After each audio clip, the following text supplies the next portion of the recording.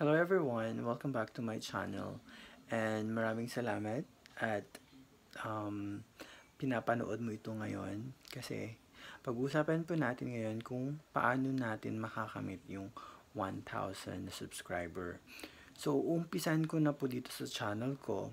Gagawa po tayo ng AKAP Road to 1,000. Kung naka 1,000 na subscriber ka na, eh, gagawin natin 2,000 para mas masaya, mas madami.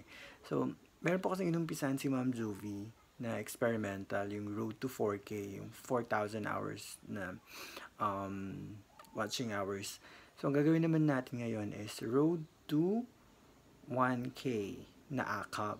So, um, simple lang naman yung mechanics. So, kung gusto mong malaman kung paano, panoorin mo tong video na to hanggang matapos. So, paano ba yung mechanics ng experimental natin?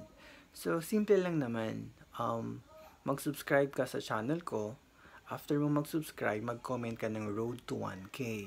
So, ang gagawin ko, pag nabasa ko na yung comment mo na Road to 1K, pupunta ako sa channel mo, magko-comment din ako ng Road to 1K after ko mapanood yung pinaka-latest na video mo. So, paano mag-grow yung channel mo at yung channel ko? So, lahat ng nanonood nito na small YouTuber, um, magko-comment din sila ng road to 1K. And, um, alam na nila na nag-comment ka. So, pupunta din sila sa channel mo, papanoorin din nila yung video mo, magsusubscribe din sila. So, ganun lang kadali.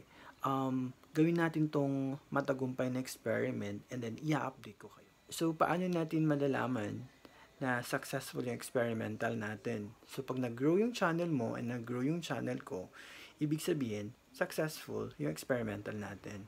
So, huwag kalimutan mag-subscribe sa channel ko and i-comment lang ang road to 1K. Hanggang sa muli!